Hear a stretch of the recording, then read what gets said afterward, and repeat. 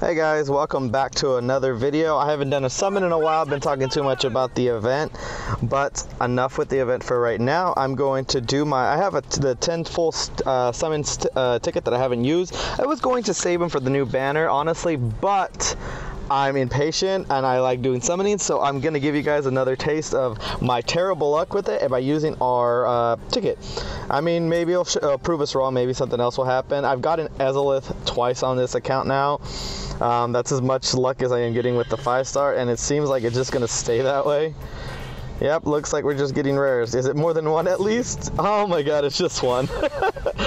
this game hates me. The summons hate me. I hate the tenfolds too. They never give me what I want.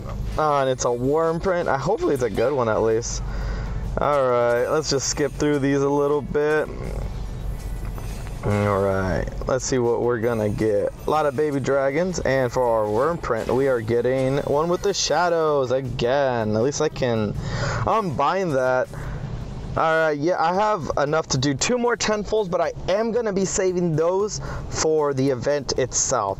Now, this video is going to be really short, it seems, so let's just do an event real quick. Let's do the Avenue of Power on Expert Mode, because why not? You guys, this is one of my favorite things to do. I love doing the Avenue of Power because all I got to do is basically level up one character this whole time on there and then use all the other crystals I, uh, I keep getting to level up my other characters. So basically, I, I do all the grinding for Ezelith. Uh, I get her stronger and stronger, and then because of that, I get to use all my crystals to power up the rest of my team.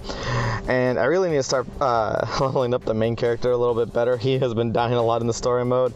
I haven't been able to be playing all that much, so I haven't been progressing uh, how much I want to. So when it gets to the story, it actually is upsetting. And it looks like we might get stuck in this because of that one person. All right, he left. So we will be able to uh, get into this hopefully with this next person. Awesome, perfect. Now this is such an easy thing to do. You guys can get through this so fast. So if you guys ever feel like grinding something, grinding the Avenue of Power is like one of my favorite things to do because you get your resources, you get in, you get out, and almost every team you can get in there can beat this. It's really hard to lose this, in my opinion. I have lost it though. I'm not gonna lie, because um, I wasn't paying attention. And not only that, I still I just mess up these controllers so much sometimes. It's terrible. But yeah, just go into the middle, take out the baby dragon, hopefully Ezelith doesn't do what I my Ezelith does and just swings to the other ones all the time. Swing to the back and start taking care of these guys. It's they're so easy. Uh, you just gotta watch out for their uh, those little red marks. Obviously, they're uh, big attacks because they're annoying and they stop you, they drop you, and that's one of the most irritating things about this game. Ah, getting knocked back. It's that being bog stunned. Basically, anything that keeps you from using your uh, hidden powers is always probably one of the worst things that can happen to you in this game. And I did it anyways. Oh well, I recovered. Those rats are the most annoying thing in the world because just like I was saying, I hate things that knock me down, and like the rats. Perfect example. All they're meant to do is knock you down. Look at this thing. Let it die. There we go. And now, I always like to use my special right here because I hate this little worm thing. And plus, I can take care of everyone with Ezelith, basically. And it seems like I failed. Alright, and then we just come back over here, take care of these enemies. Usually, uh, yeah, the rats show up on the expert. You get like four rats, I think three or four. It's annoying as all hell, but you guys can deal with that so easy. All you gotta do is get them. These things are more annoying in my opinion because they're stupid status effects. Just kill them off, kill the rats, and you, this is so easy. I don't even know I have to explain this to you.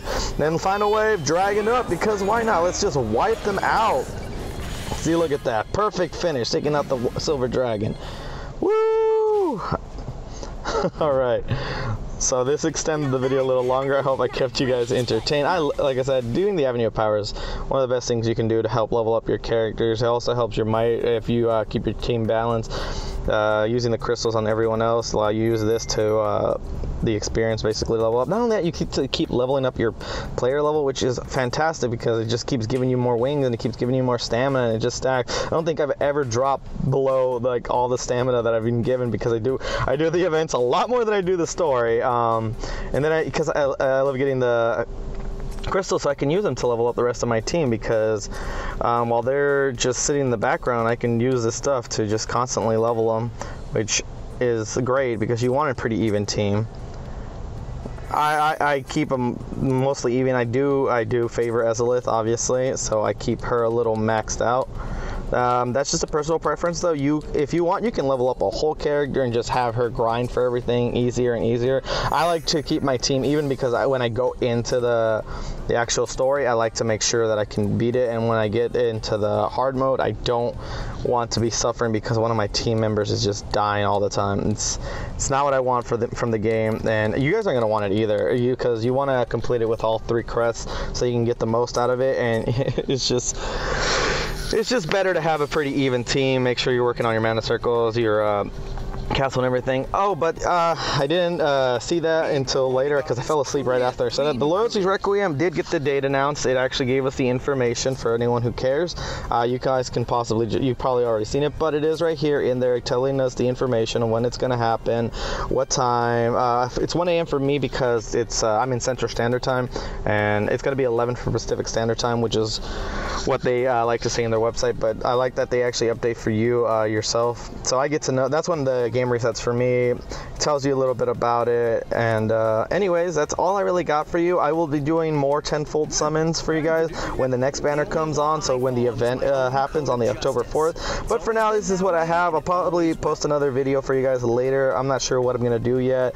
Uh, I'm not doing any of those beginner guides or anything like that, like other people are doing. And the main reason for that is just for the fact the game hasn't been out that long. I want to learn everything, the ins and out. And there's a lot of people who figured out a lot of it, but there's still a lot of people who constantly are going in, correcting themselves, and I'm just like, let me get this together. Let me do it in a video where not only do I actually have like full uh, a full screen so I can uh, break down things better for you and not just have this uh, the, the way I have it on my screen which is just the phone uh, the game because well like I said I've been doing this while I'm at work. Anyways I'm rambling. Uh, uh, but just if anyone's curious, that's why I haven't done ba- uh, any beginners guides or anything like that. Just for the fact that I don't think there's the information is still out out there. I want to get more information done. The big, I mean, there's enough things you can just learn while you go through the game, and I don't really think like we need to hold your hands. For anyone who is new and wants to know, I'm totally there to answer any questions. You can just leave me a comment. I'll, I'll make sure to reply and I'll, I'll give you the information you want.